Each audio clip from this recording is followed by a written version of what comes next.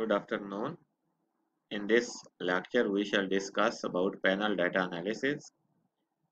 Panel data models include common effect model, fixed effect model, and random effect model.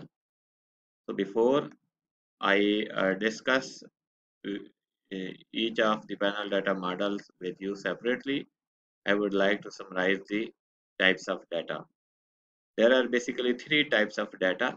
First type is cross-sectional data.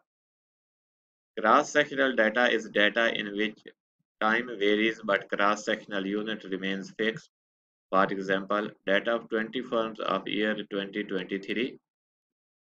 Now here year is 1 that is 2023 and number of firms are 20. So this will be known as cross-sectional data and its equation is written with the subscripts i with the dependent variable as well as with the independent variable. Then the second type is time series data. In time series data, we have one cross-sectional unit but year change. For example, if we have a data of one firm from 2001 to 2023, this will be known as time series data Another example of time series data is GDP of Pakistan from 2001 to 2023. The years are 23 while the country is 1. So we will call it time series data. When its equation is written, subscript T is written with the dependent variable as well as with the independent variable. So these subscripts indicate that whether it is cross-sectional, time series or panel data. The third type is panel data, which is also known as pool data. Here we have more than one cross-sectional unit as well as we have more than one year. For example, if we collect data of 20 firms from 2001 to 2013, this will be known as panel data because number of firms are more than one. Similarly, the number of years are more than one. When its equation is written, we write id these two subscripts are written with the dependent variable as well as with the independent variable where i refers to the cross-sectional unit which may be an individual a firm a country or even uh, a continent. And t refer to the time period which can be a day week month or year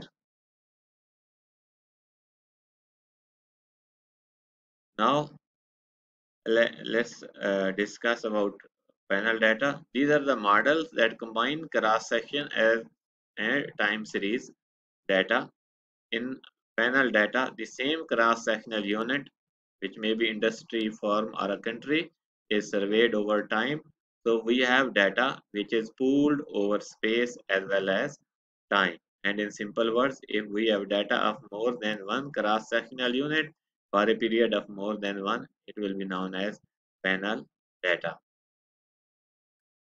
Now, in this slide, next few slides, we shall discuss that what are the reasons that we use panel data instead of cross-sectional and time series data. The first reason is that panel data can take explicit account of individual specific heterogeneity.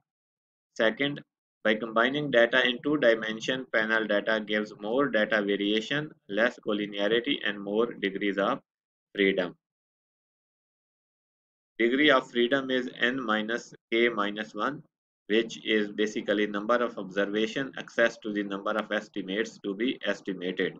Because in panel data, we combine the data of different cross-sectional unit and measured over different years. Therefore normally we have more number of observation and whenever we will be having more number of observation degree of freedom will be high. Third reason is that panel data is better suited than cross-sectional data for studying the dynamics of change. For example it is well suited to understand the bankruptcy or merger etc fourth reason of preferring panel data over cross-sectional time series is that panel data is better at detecting and measuring effects that cannot be observed in either cross-section or time series data. Because in time series, we measure the data of one cross-sectional unit only, However, in cross-sectional data, we measure the data over only a one point of time. Therefore, uh, it is better to use panel data in which we have more cross-sectional unit and more number of years uh, and it is better at detecting and measuring the effects. Fifth reason of preferring panel data is that panel data enables the study of more complex behavioral models, for example, the effects of technological change or economic cycles. And sixth reason is that panel data can minimize the effects of aggregation bias from aggregating firms into broad groups. Now in the panel data, we can assume different things. For example, we can assume that intercept and slope coefficients are constant across time and firms or we can assume slope coefficient is constant but the intercept varies over firms or we can assume the slope coefficient is constant but the intercept varies over firms and over time so these are five different possible assumptions of panel data analysis now the first model of panel data analysis is a common effect model. There are basically uh, three main models which are used under panel data analysis. Common effect model, fixed effect model and random effect model. Let's discuss about common effect model. Common effect model is nothing more than just the application of OLS on panel data so basically this is a common effect and I should have written here the common word common here common.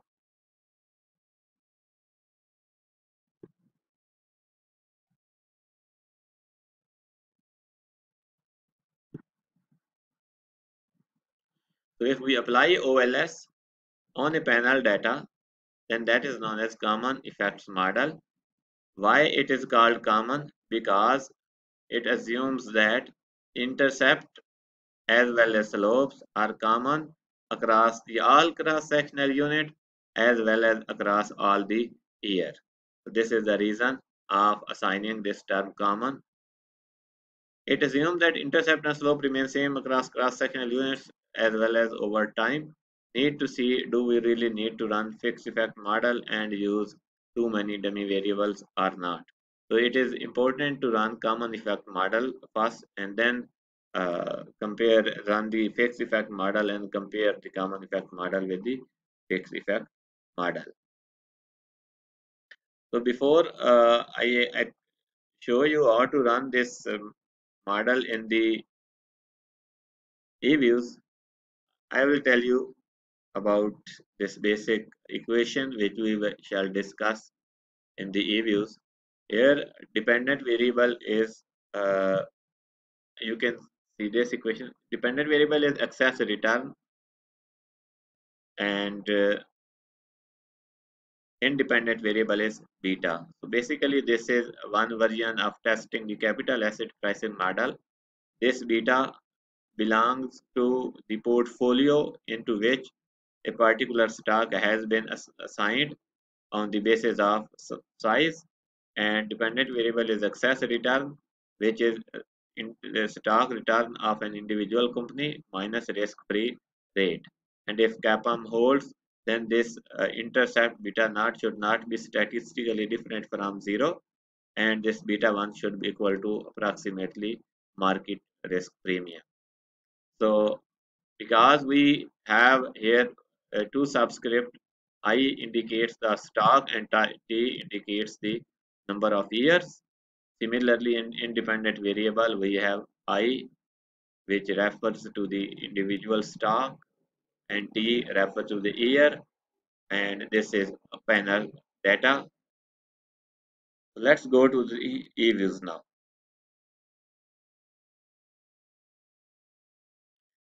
So let me start from the scratch.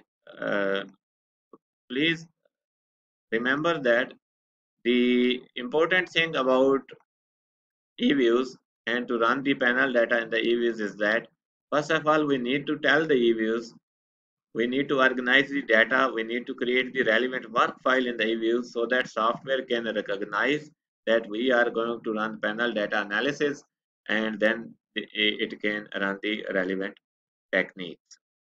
So first of all, see your data in Microsoft Excel. Uh, this is excess return data, which is our dependent variable.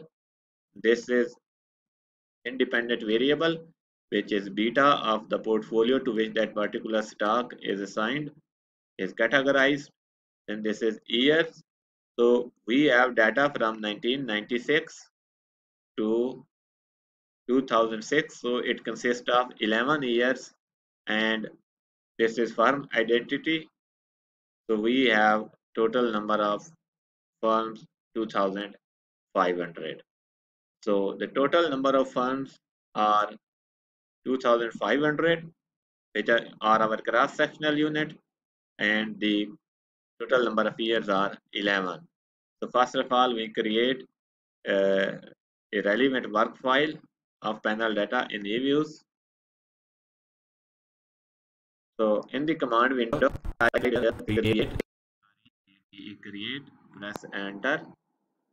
Here it asks you to select the work file structure. If you click on this button, you will see three different types of structure. This is the first one is for fixed, uh, sorry, uh, this is for cross-sectional data. The second one is for time series data and this is balanced panel for panel data. So we will select here balanced panel. Our frequency is annual. Our start date is 1996. Our end date is 2006 and our number of cross sections are 2500.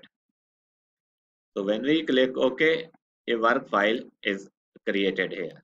Now on the next step we shall import data from our Excel file into the eViews file. So let's go to file, import, import from file and go to the folder where that data is stored.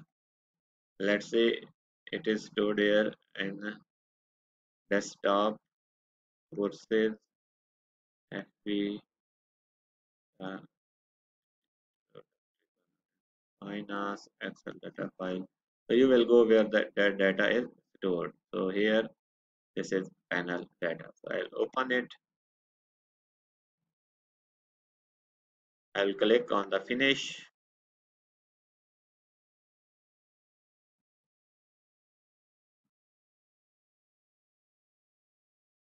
now the data has been imported here. You can open a file and see this is return data. And this is uh, data of our independent variable beta.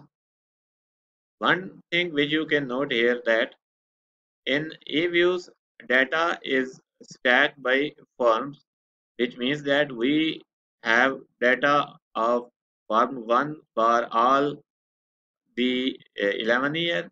Then we have the data of second firm for all the 11 years. However in excel data is uh, stacked by year. First we have the uh, data of 1996 for all the 2500 firm and then the year change. So in excel this data is stacked by year while in eViews data should have been stacked by cross-sectional unit.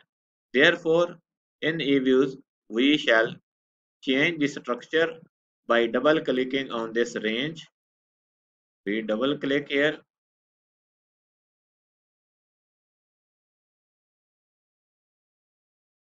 To open the work file structure, here under cross section ID, we shall type firm underscore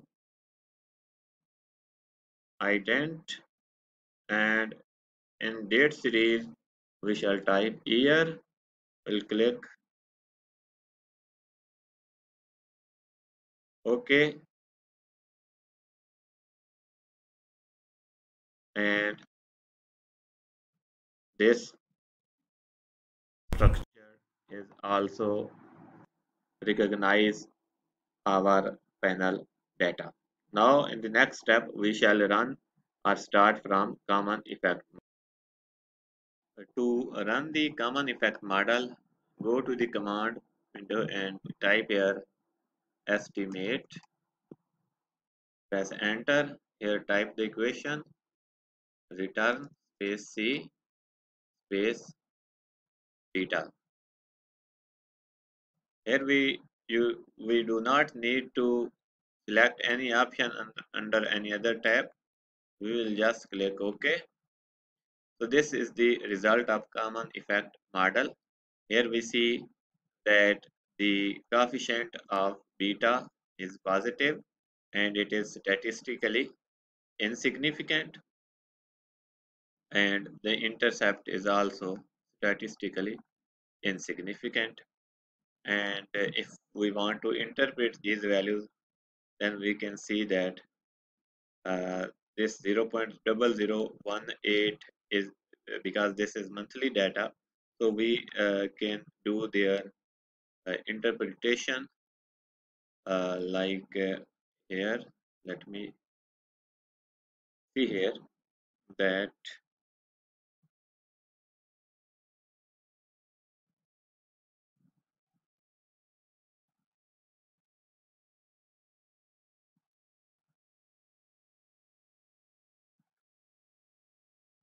we can see that uh, now I am going to interpret this uh, intercept 0.001843 and this 0.00045 Their interpretation is written here. Neither the intercept nor the slope is statistically significant because p-value of both intercept as well as the coefficient are less than 2. Therefore, we can say that both the intercept as well as slope are not statistically significant and the returns are in this proportion term rather than percentage. So the slope estimate of 0.00041 correspond to a risk premium of 0.045% per month or around 0.5% per year. Whereas the excess return for all firms in the sample is around minus 2% per year. So if we go back to the image you will see that this 0.0018 is monthly. When we multiply it with 12 the answer will be equal to around 2 so we will interpret it like this that the excess return for all firm sample is around minus minus 2 percent per year. And uh, then we uh, will run now fixed effect model to run the fixed effect model, first of all, you know that what is the need. Basically,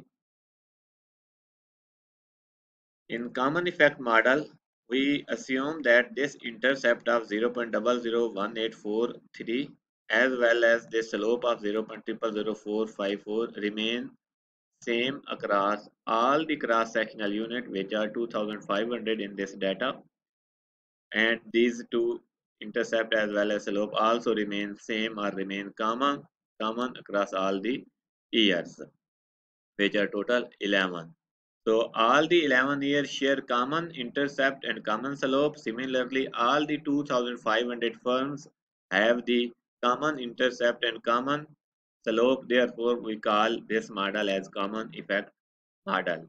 But as you know that this is very innocent assumption that the relationship between beta and excess returns remained same from 1996 to 2006 and also it is very innocent assumption that this relationship remains same across all the 2500 firms irrespective of their size their leverage their industry etc so we need to use the fixed effect model to capture the heterogeneity existing over the year as well as existing over the cross-sectional unit.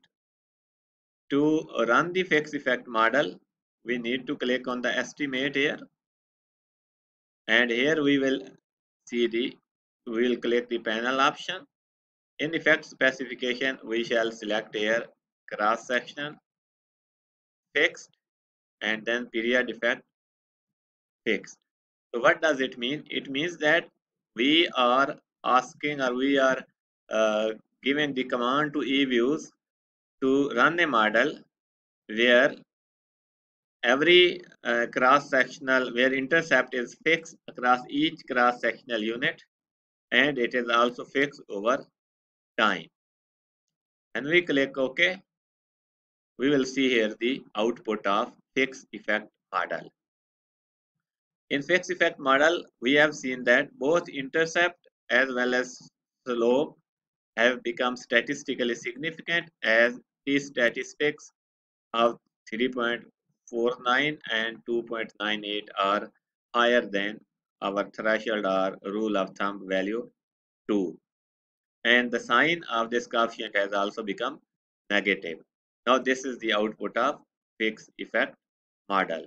Here we will see that uh, if if uh, if a portfolio has a higher beta, the excess return of that particular stock will be negative, will be less because it is its value is minus 0.0118. Now, if you want to see the fixed effect of cross-sectional units or fixed effect of year, go to the view, click on fixed random effects, and here you can click on cross section effects. Now these are the effects of all the 2500 firms. And if you want to see the uh, fixed effect of year then again go to view select fixed random effects go to period effects and you will see the intercept of each year under this column effect so this in this way we can see the fixed effect of each year as well as fixed effect of each cross-sectional unit which in our case is a firm.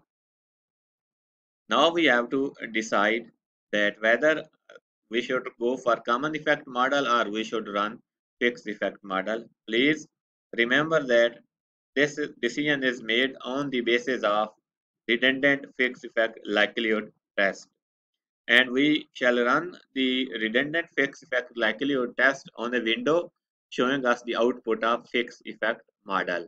The output of redundant fixed effect likelihood test will tell us uh, in simple words that whether the fixed effect model is better than common effect model or common effect model is better than the fixed effect model.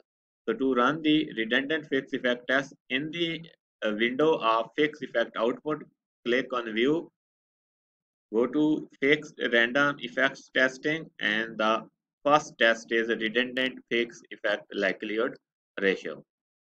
Click here, you will see the output. Cross section F statistic is 1.412241 and its probability value is 0.000. So as p value is 0.000, therefore we shall reject the null hypothesis of redundant fixed effect test. Now how we shall interpret this output, let me take you back to the uh, PowerPoint slides.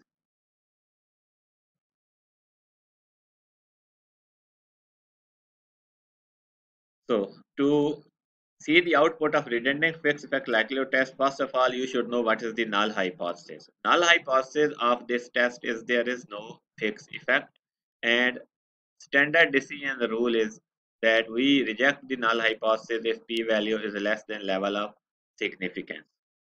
Now interpretation as p-value in our eViews output was 0.000 which is less than level of significance which we have set as 0.05 which you know that level of significance in social sciences is generally selected 1%, 5% or 10%. So comparing it with the level of significance of 5%, we reject the null hypothesis of no fixed effect and conclude that fixed effect are there. Basically, when we reject this null hypothesis that there is no fixed effect, it means that we are saying that there is fixed effect. And if there is fixed effect, then obviously fixed effect model is better. So brief, in brief, if the p-value of redundant fixed effect likelihood test is less than 0.05, it means that fixed effect model is better than the common effect model. And now we uh, shall see the random effect model and we will try to measure whether the random effect model is better or fixed effect model is better. So let's uh, discuss about random effects estimation. The fixed effect model assumes that each group has a non-stochastic group-specific component to Y, including dummy variable is a way of controlling for unobservable effects, but these unobservable effects may be stochastic, that is random. So dependent variable yit is equal to intercept plus slope into independent variable plus vi plus epsilon it. Here this vi is treated as component of random error term. Vi is the element of the error which varies between groups but not within the groups, while epsilon it is the element of error which varies over group as well as over time. Now uh, let's go to the eViews and run uh, random effect model. Uh, this was our window. We shall click on the estimate again here this is our basic equation where return is dependent variable, C for intercept and beta is our independent variable. Click on the panel option. Here we shall, from this uh, option effect specification, we shall select here random, but we shall select here none. Please remember that eViews will allow you to run a random effect uh, either along the cross-sectional unit and none across the period or none across the cross-sectional unit and random across the period. It will not let you to run the random effect model across the cross-sectional unit as well as across the period at the same time. Therefore, I am selecting a random from the cross-section effect and none from the period effect. Now I shall click OK to see the output of random effect model. Uh, see here in random effect model, our dependent variable is return and independent variable is beta. T statistic of intercept as well as slope are less than 2 which means that this is both of these are insignificant model. Now uh, very important uh, test is the Hausman test. Hausman test decides between fixed effect model and a random effect model. So let's go to the uh, view fixed random effect testing and then correlated random effect Hausman test. When we click on the Hausman test, we see that our output is this one. Their cross section chi-square statistic is 12.63 while p-value is 0.0004. Now we shall go to the PowerPoint slide to have the interpretation of Hausman test. So the Hausman test tests the statistical significance of difference between coefficient estimates obtained by fixed effect and random effect under the null hypothesis that random effect estimates are efficient. So the null hypothesis of Hausman test is that random effect estimates are efficient. And the rule is same that we reject H naught in null hypothesis if p-value is less than level of significance. What we conclude in we uh, run this ran this test applied this test in eViews and we found the value of p value of Hausman test was 0.0004 which is less than 0.05 therefore we have rejected the null hypothesis of Hausman test and we shall conclude that fixed effect model is better than the random effect model now let me summarize it again uh, we discussed three models of panel data, common effect model, fixed effect model, and random effect model. Between common effect model and fixed effect model, redundant fixed effect likelihood test decides if p-value is less than 0.05, we conclude that fixed effect model is better than common effect model. Then we decide which model is better between fixed effect model and random effect model. The deciding test is Hausman test. However, Hausman test is run after the random effect model. If the p-value of Hausman test is less than 0.05, we conclude that fixed effect model is better. So in our this example, finally after running all these five tests, we conclude that fixed effect model is better than both the common effect model and random effect model.